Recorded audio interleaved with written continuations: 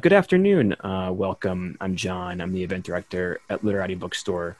We're pleased to welcome Lindsey McDivitt for a special story time reading of Truth and Honor, the President Ford story. Um, some Zoom etiquette. You heard me as you came in.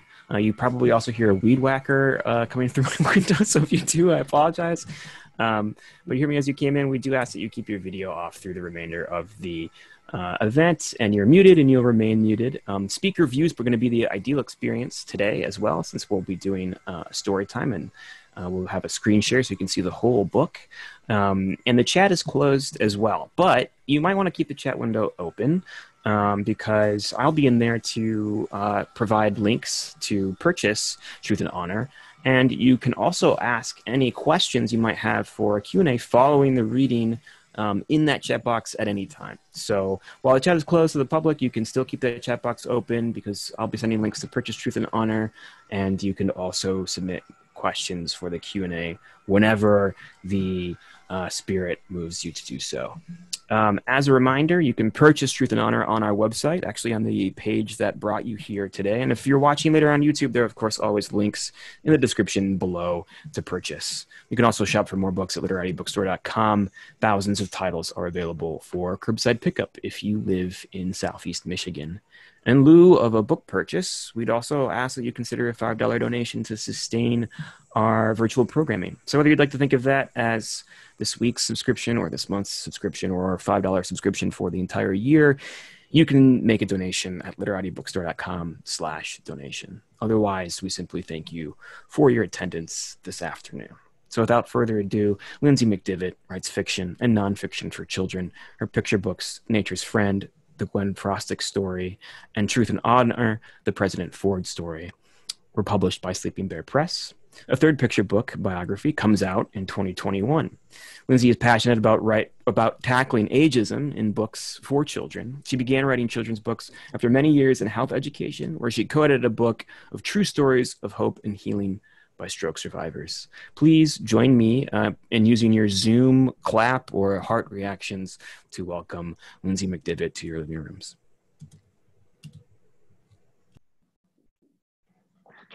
Hello, everyone. I'm so pleased to be here today. Thank you so much to Literati Bookstore and to John for handling all the logistics today. And thank you for your support of independent small bookstores, really important in this challenging time. I'm really thrilled to be here, and I just want to mention a few things before I read the book. Um, one, if you're interested in having a signed copy of the book, I'm happy to send out signed book plates um, to you personally. You can just contact me through my website at lindseymcdivitt.com. Um, also at my website are some tremendous free resources um, through the Ford Presidential Museum. The links are on my website um, such as some other videos of me and the illustrator Matt Faulkner talking about our writing and illustration processes. And um, I'd also like to mention there's a number of quotes throughout the text, um, quotes of, of, President Gerald Ford and um, others. And I don't necessarily read all the quotes, but they're there for you to read on the page. They don't necessarily flow um, when reading out loud. And especially Michiganders or Michiganians, uh, take note of all the references to Michigan throughout. I like to use a lot of metaphors and similes, and in this book, they were very much Michigan oriented, as President Ford was the only president raised in Michigan. So without further ado, I'm going to share screen and show you the, the text. You should see me just in the top right corner to choose the, there we go hopefully you see the entire uh, book. Truth and Honor, the President Ford Story. President Gerald Ford sat down at his new desk in the Oval Office and rolled up his sleeves ready for work. He'd never planned to be president, but Ford was just the leader America needed. He would help mend what was broken, the trust between the people and their government. Americans would see their new president could be counted on to tell the truth. Honest and hardworking, he followed the rules. He cared deeply about all Americans. Gerald Ford could steer them through the turbulence of recent events. His life had prepared him well. Plus, liberty was at his side. As a baby in 1913, Junior, as he was called back then, survived stormy times. His mother, Dorothy, escaped her violent husband by clutching her baby close and slipping out the door without even a suitcase. Dorothy fled Omaha, Nebraska to her parents with Junior, then just 16 days old. They all moved to Grand Rapids, Michigan to start a new life. Dorothy remarried when Junior was too small to recall the father they'd left behind. Now he had a stepfather, Gerald Ford, an honorable man, as dependable as the lighthouse shining at Grand Haven Beach. As Junior grew, his stepfather threw footballs to him and took him fishing. Gerald Sr. became the father Junior loved. The new family grew close, and Junior tried to follow his parents' three rules tell the truth, work hard, and come to dinner on time. Junior found lessons to be learned from those close to him. From his stepfather, Junior learned to be hardworking and honest, to play by the rules. From his mother, he learned to think of others and to study hard, and to control his hot temper most of the time. From the people of Grand Rapids, good neighbors and friends, Junior Ford learned to respect many kinds of people, including those new to America. The Great Depression hit, and hardships buffeted the Fords. Business was bad at his family's paint store, and they lost their home to the bank. But the Fords found joy all around them, joy as deep and vast as the Great Lakes ringing their state. Junior raced down Ottawa Beach with his little brothers. He and his stepfather trolled for trout on the Pere Marquette River. Mother's cooking and happy spirit brought them together for dinner. Before long, Junior was given the same name as the stepfather he admired. Junior became known as Gerald with a G, but Jerry with a J. But still, life sometimes felt like being caught in a whirlwind. Young Jerry hoped the teacher wouldn't call on him. Although he was smart, he struggled to speak, and left handed Jerry was expected to write with his right hand. He tried and tried until finally teachers stopped forcing him. Once he was allowed to be different and write with his left hand, Jerry's stuttering stopped. Working multiple jobs to help out his family, Jerry learned to get things done. He mixed colors and cleaned out bats at his stepfather's paint store. He hefted crates of sodas and Cracker Jacks at an amusement park. He washed dirty dishes and waited on lunch customers at Bill's place. Jerry attended public high school where students strive to succeed through hard work, no matter where they came from or the color of their skin. The desire for the American dream flowed through the school as strongly as the Grand River flowed through town. Jerry's stepdad believed sports taught you how to live, how to compete, but always by the rules.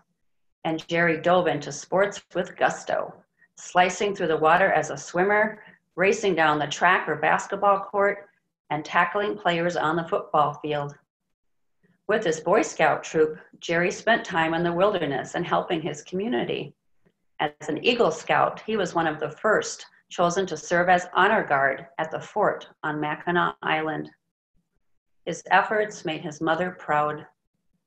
From the Boy Scouts, he learned patriotism and to be of service to others. From sports, he learned teamwork and how to follow the rules of the game. And from fellow students, Jerry learned what it meant to struggle and strive. Jerry made plans for college. His future looked as bright as the Dutch tulips that decorated his city. But dark clouds loomed during the Great Depression. Millions searched for work. Jerry's stepdad took less money home so he could keep all his workers on the job. His mother volunteered collecting food for people in need. The Fords felt fortunate, but there was no money for college.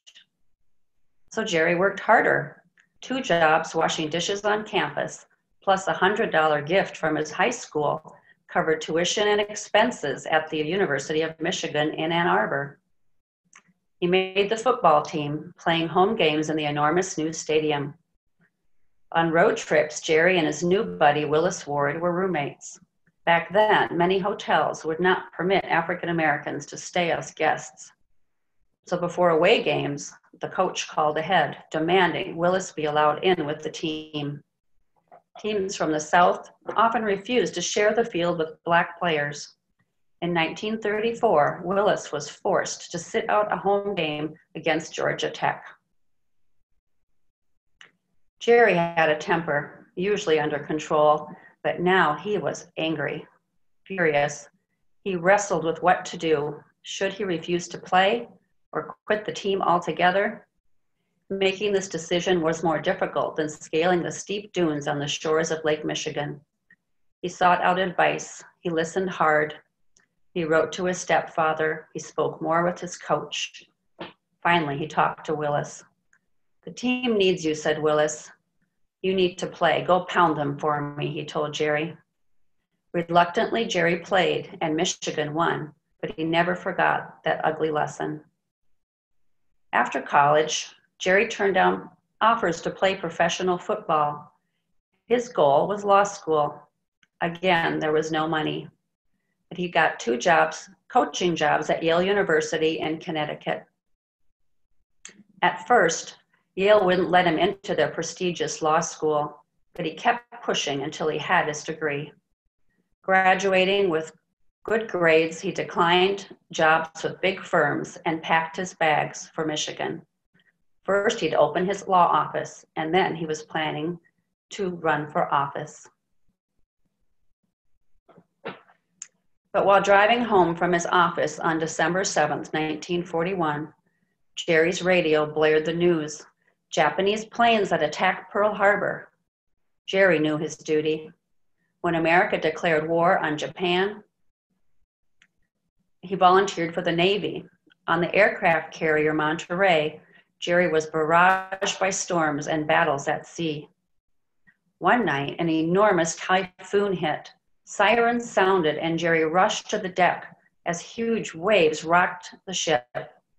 He was thrown down, sliding toward the roiling sea.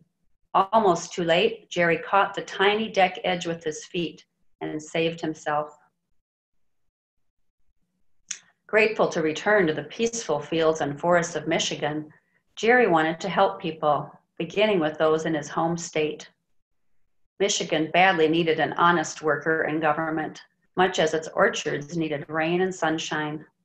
So Jerry campaigned in Grand Rapids for the United States Congress. From college and law school, he learned to listen to both sides and to seek out the best advice. From coaching, he learned leadership and how to encourage teamwork. From fighting to free other nations, he learned how important American democracy was to peace and justice worldwide. In 1949, Michigan voters sent Jerry to the House of Representatives. People in his dis- district trusted that he heard their concerns and would speak up for them. With his new bride, Betty, he moved to Washington, D.C. Harry Truman was the first of six presidents Jerry Ford worked with as a Republican congressman. Jerry believed the political parties were on the same team. He became known for working with the Democrats, bridging the gap the way the Mackinac Bridge connects Michigan's peninsulas. During his 25 years in Congress, Gerald Ford's votes supported the rights of Americans all religions, genders, abilities, and colors. He never forgot the racism that hurt his friend Willis in college. And Jerry never stopped listening to the people of Michigan. In the 1970s, the country faced a flood of bad news. Both the president and vice president were accused of breaking the law and lying about it. The people marched demanding the truth. Vice President Agnew was forced to leave his job. President Nixon needed a new vice president, one who followed the rules, one who people trusted. He selected Jerry Ford. Jerry knew there was a chance President Nixon might be convicted of his crimes. Then he, Gerald Ford, would become president. The events of 1974 rocked the nation President Nixon was forced to step down, and Gerald Ford became the 38th President of the United States. We are ready, Jerry told Betty, who was by now a trusted helpmate. Jerry's new desk was piled high with problems. New storms threatened. The war in Vietnam was ending, and Jerry wanted to help the thousands of refugees who were now in need of a country to call home. There were fears of another depression. People worried about paying for food, gasoline, and housing. But now, Americans had a president they could trust working for them, a president with integrity.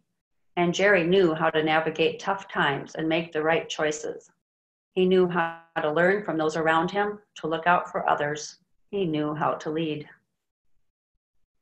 President Ford would do his very best to steer the country to safety.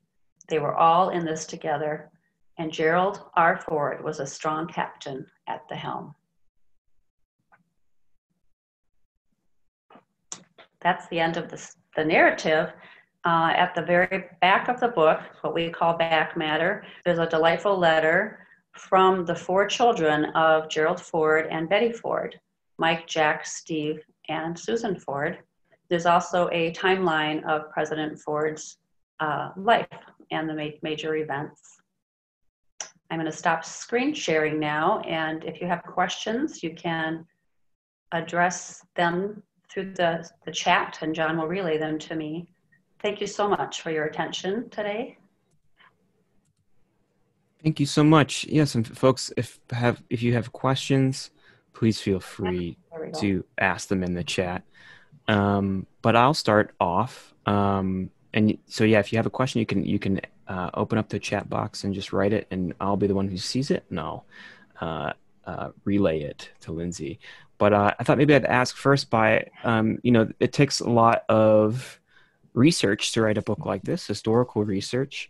And so I'm wondering, how do you um, sort of compress that research into the size of a picture book and choose what you want to include and what you want to not include?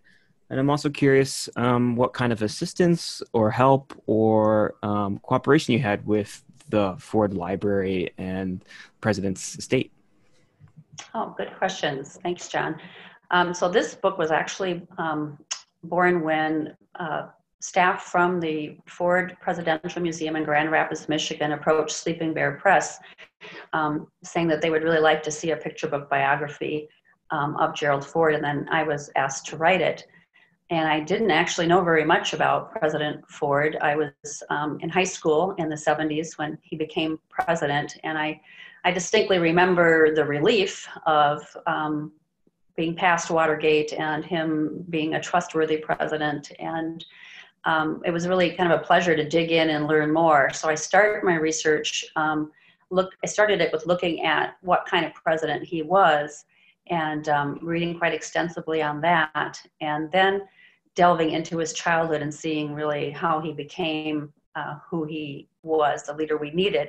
So um, I bookended the, the story, as you noticed, with him as starting out as president in the beginning of the book and then ended the book with him also as president. And the majority of the text is really about his um, his growing up years and how he was formed into the person uh, that we needed at that time.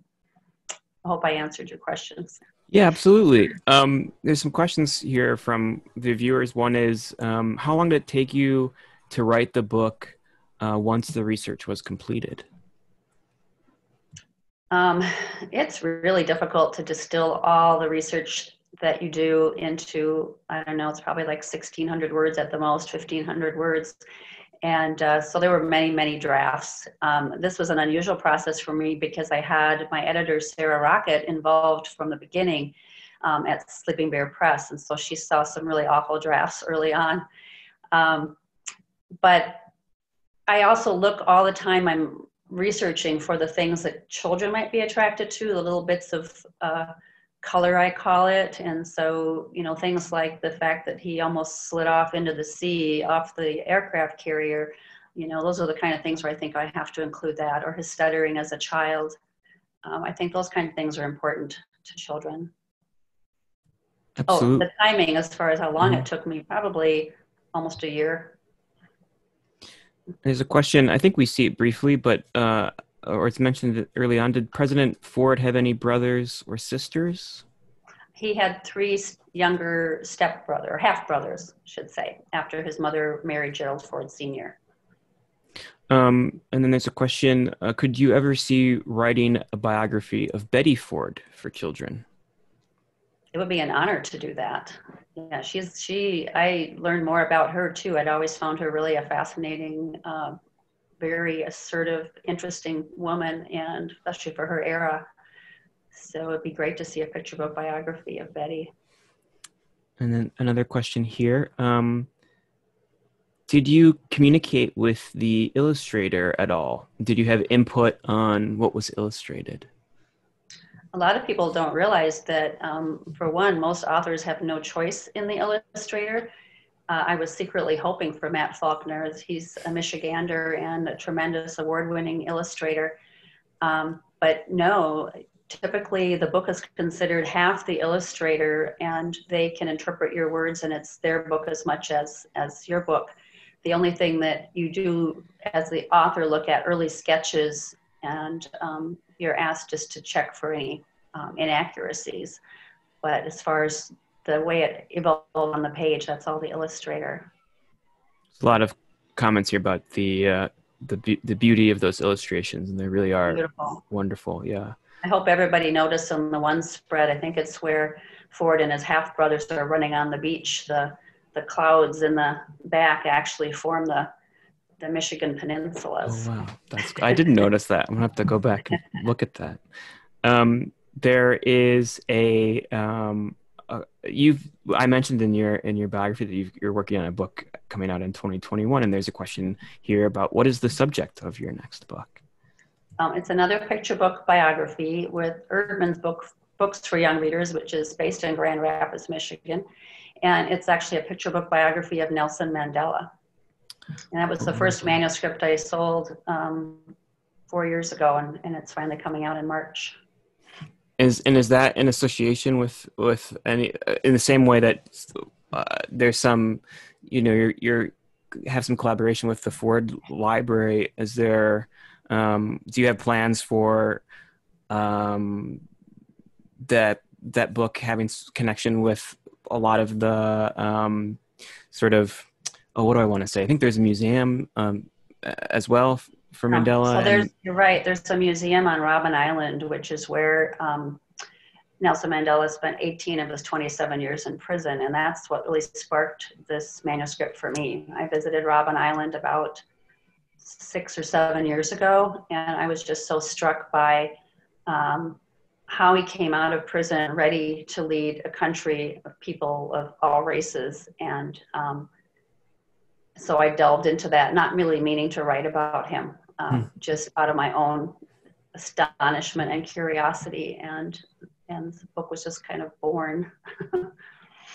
Um, did you travel um, to do research for any of your other books, for maybe for this one or for your earlier book?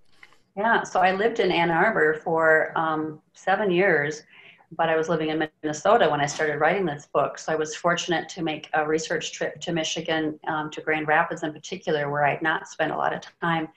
And uh, to tour the museum, I was able to get a personal tour of the museum and then visit um, a number of places, including um, the restaurant where Gerald Ford met his birth father for the first time as a teenager. Uh, Leslie King uh, Sr. was his stepfather, who was really not a part of his life. Um, and saw where he went to school and the beach where he ran with and played with his half brothers. And it really helped to add the color that I like to add to the picture book to make it interesting to kids. And I learned a lot. Did you communicate as well with, with the living members of Ford's family during any of your biographical research? That's a great question. I would hate to forget that I was fortunate enough to talk to one of Gerald Ford's sons, Mike Ford, on the phone. Um, and that really was just such a great uh, insights and confirmation of what I'd learned about uh, Ford's character. Really, really helpful. Well, um, we're reaching the top of the hour, uh, or the top of the half hour, excuse me. Um, and so um, uh, I just want to, on behalf of the store, thank you again for, for this really lovely story time and for answering um, everybody's questions today. Um, as a reminder, you can uh, purchase Truth and Honor at literatibookstore.com. And as Lindsey mentioned, if you wanted a signed book plate, you can get in touch with her um, at her website. website Yep. And um, so thank you, and um, cong- and congrats on the success of this book, and um, very excited um, for the book coming out in 2021, and hopefully we can have you um, in the store uh, for a story time Okay. up in the children's section soon. Um, so thanks again Great. for joining us, and for everyone who who joined us um, from wherever you're joining us from. Continue to stay safe, and uh, we'll see you at the next event. Take care, everybody. Thanks again. Thanks for joining us, everyone. Appreciate it. Bye now. Bye bye.